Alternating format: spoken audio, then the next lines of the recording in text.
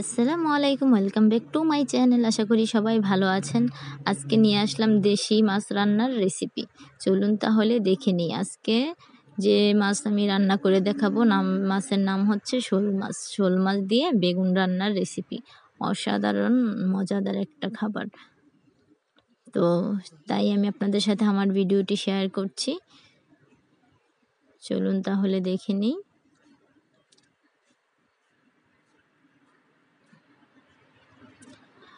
প্রথমত আমি মাছটাকে ভালোভাবে ধুয়ে কেটে পরিষ্কার করে নিয়েছি। এখন আমি মাছটাকে মশলা দিয়ে মেখে রেখেছিলাম।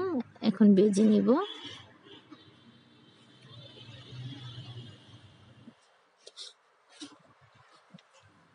দিয়ে দিচ্ছি সবগুলা মাছ।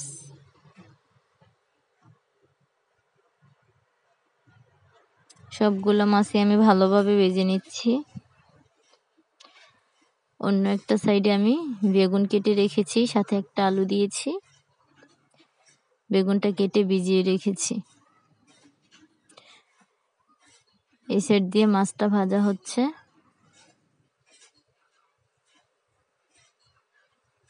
মাছটাকে এখন আমি উল্টিয়ে দিয়েছি।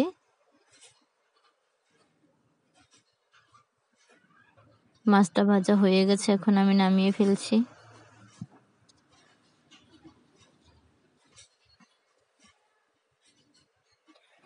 এখন আমি কড়াইতে দিয়ে দিলাম পরিমাণ মতো তেল।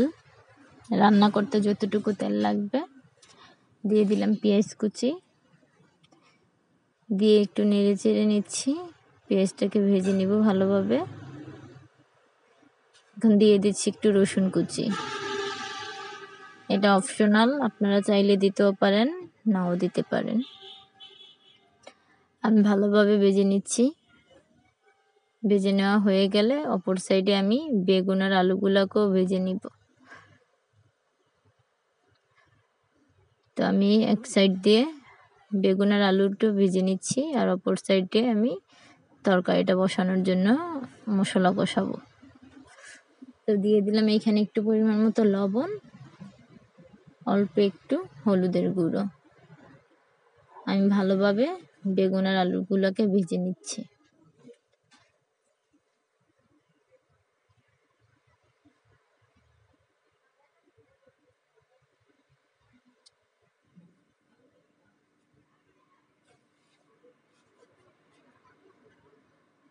দেখতেই পাচ্ছেন কি সুন্দরভাবে ভাজা হচ্ছে।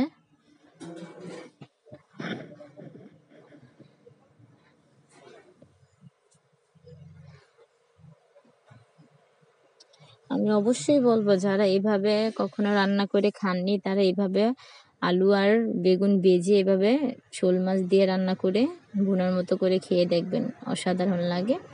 অপর সাইডে আমি দিয়ে দিলাম এখানে রসুন বাটা। দিয়ে দিচ্ছি হলুদের গুঁড়ো, মরিচের গুঁড়ো,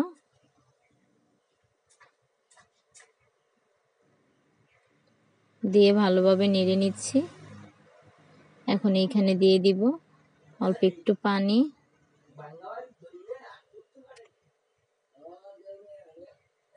মশলাটা কষানোর জন্য দিয়ে দিয়েছি অল্প একটু পানি।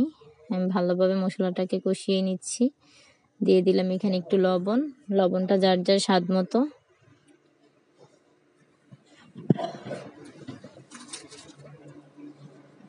এখন আমি দিয়ে দিলাম এখানে বেগুন আর আলু আলু ভাজা।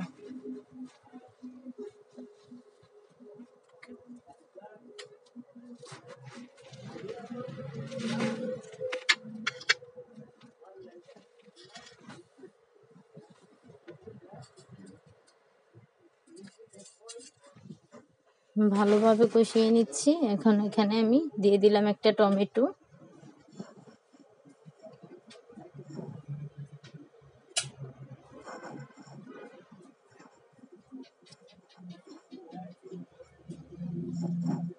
টমেটোটার সাথে দিয়ে আমি ভালোভাবে কষিয়ে নিব।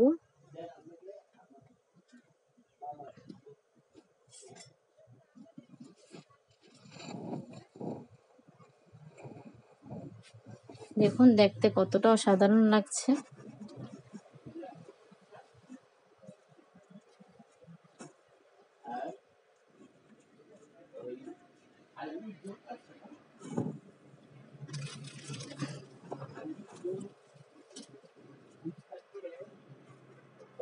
এখন অ্যাড করে দিচ্ছি পরিমাণ মতো ঝোল।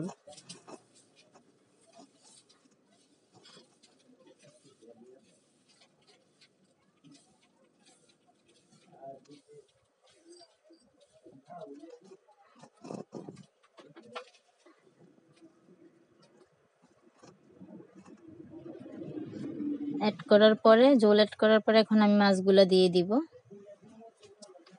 আমার তো দেখেই জিভে জল এসে গেছে। যা, কি বলব? রান্না করতে করতে আমার খেতে ইচ্ছে করতেছে। আপনারা বাসায় অবশ্যই ট্রাই করে দেখবেন। আর দেখুন, বলক চলে এসেছে। আমার রান্নাটা হওয়া পর্যন্ত আপনারা আমার সাথে থাকুন। শেষ পর্যন্ত দেখবেন।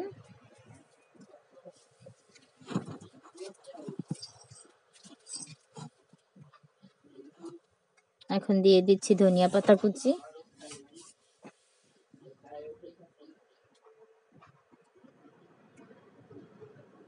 ধনিয়া পাতা কুচি দিয়ে আমি তরকারিটাকে নামিয়ে ফেলব।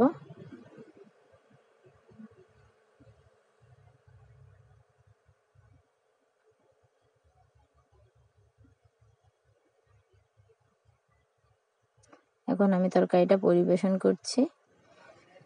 যারা আমার চ্যানেলটাকে এখনও সাবস্ক্রাইব করেন নাই, তারা অবশ্যই আমার চ্যানেলটাকে সাবস্ক্রাইব করে আমার পাশে থাকবেন। লাইক, কমেন্ট, শেয়ার করতে ভুলবেন না। আর কমেন্ট করে আমাকে জানাবেন এই রেসিপিটা আপনাদের কেমন লাগল।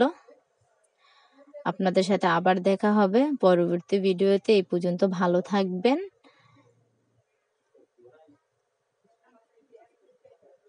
আল্লাহ হাফিজ।